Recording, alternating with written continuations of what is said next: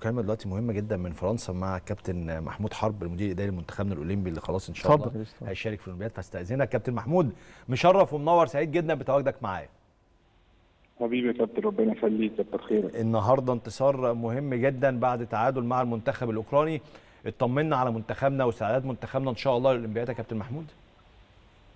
طبعا الحمد لله كانت تجربة طبعا مفيدة. آه بعيدا عن النتيجه يعني مباراة ودية كسبنا أو تعادلنا أو أو عندنا كنا خسرنا إحنا ما بنبصش على نتائج المباريات الودية. على قد ما بنستفيد من الاستفادة إن اللعيبة بتنفذ تعليمات مستر ميكالي. و- والراجل بي- بي- بيراجع كل حاجة معاهم بدقة عشان إن شاء الله مع بدايه أول ماتش لينا في الأولمبياد نكون جاهزين إن شاء الله. الحالة البدنية والفنية والمعنوية كمان في أحسن حال يا كابتن محمود طمنا. الحمد لله يعني الحمد لله الناس كلها بخير. آه، كله شغال في حتته على بأقصى جهد عنده عشان إن شاء الله ربنا يكرمنا ونحقق النتيجه إن شاء الله. عايز أطمن على كوكا كوكا كوكا هيكون جاهز إن شاء الله لأول مباراة آه، مع منتخبنا في الأولمبياد؟